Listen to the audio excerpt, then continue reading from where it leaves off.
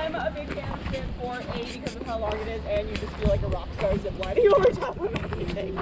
I think that's cool. Um, so one slight change here on span 3.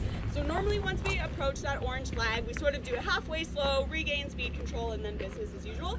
So this time, instead of just doing a halfway slow, we're actually gonna push all the way up as if we were trying to engage a stop.